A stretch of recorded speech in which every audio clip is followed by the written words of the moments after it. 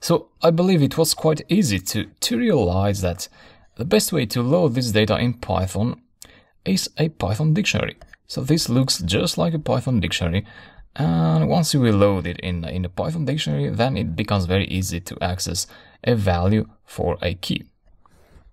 So how do we load this into a Python dictionary? Well, let me open a command shell here. For now I'm just going to demonstrate something quick in an interactive Python shell. But first you may need to close this JSON file because this is slowing down uh, Atom. Don't save the changes, I didn't do any change anyway. So Python 3, that will open my Python 3.6.1.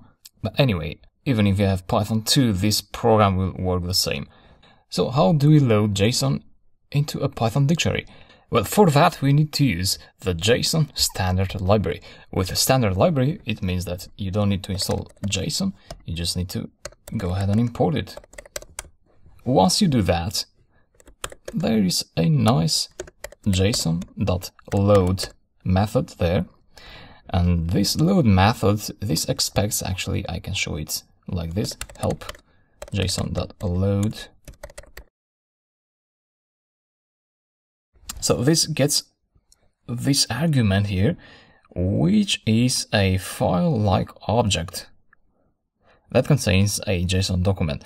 Um, so we're talking about the file object in Python, and we need to create that file. And the way to do that is simple. So JSON again dot load. The way we create a file object is by using the open method. You know that already. And then you pass the path to the file. Now, since my terminal here is pointing to this folder, I just need to pass the file name. I don't need to pass any full path in there. So like that, you can either pass the R method, which is uh, stands for read mode, or you can just leave it like that, and uh, the read mode is by default make sure to close brackets two times. So we have two opening brackets here, two closing brackets in here. And that's all.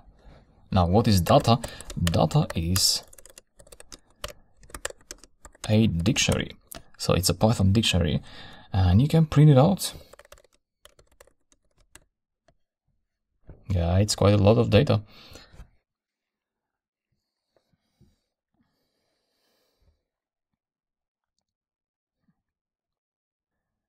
So that took a while, uh, but normally you will not have to print out the entire dictionary. Uh, what you could check is to access a word and a key from the dictionary. Uh, let's say the key rain, you need to uh, use bracket, uh, sorry, quotes for the key. And this is what you get.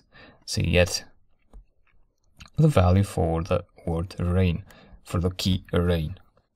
So now that you know how this works, more or less, try to come up with a function that gets as input a key and then returns the value for that particular key.